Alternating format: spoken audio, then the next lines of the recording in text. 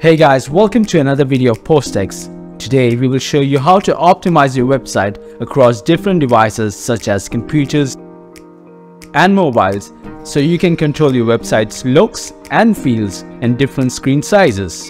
With PostX you can manually adjust your columns, the number of posts, images and more for each device so your website functions optimally across all devices.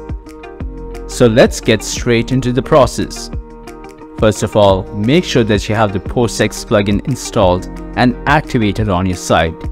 PostX is the number one Gutenberg-based plugin to dynamically create newspaper magazine sites or any kind of blog. We will start by showing you how to adjust the number of columns.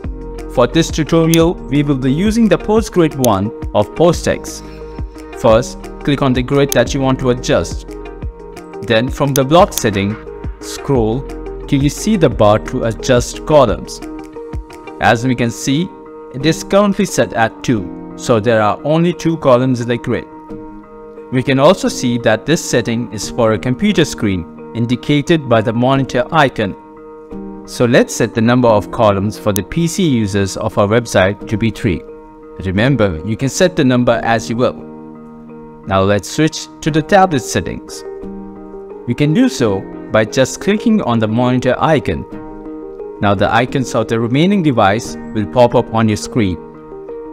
To adjust the number of columns for your website's tablet users, click on the tablet icon and set the number of columns. The process of adjusting the number of columns for mobile devices is also the same. Switch to the mobile setting and adjust the number as per your needs. With PostX, you can optimize your website for different devices with just a few clicks. Now let's set the number of posts for each device. For that, we will need to head to the query building section from the block settings. Expand the query builder.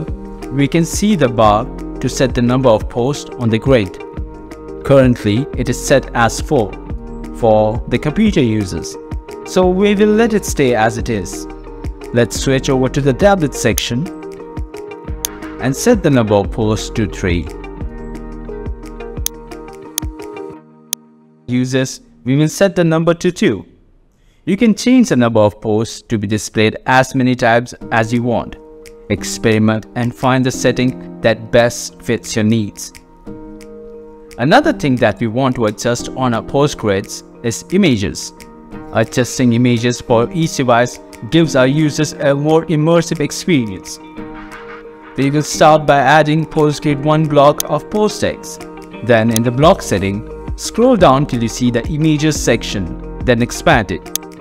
Here, we can see various functionality options, but we will focus on width, height and image spacing. Let us first adjust the width of the image. We can see there is an additional option that lets us decide if we want to change the width based on pixel or percentage.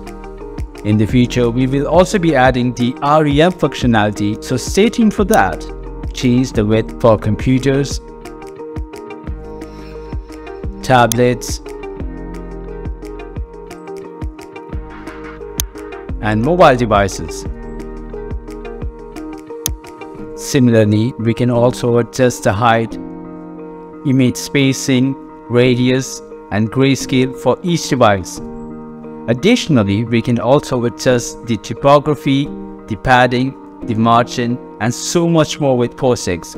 We constantly add new features as well as update our existing features so you can create an amazing website while also having a good time while building it. So that's it for this video. Don't forget to like, subscribe, and hit that bell icon so you don't miss out on upcoming videos.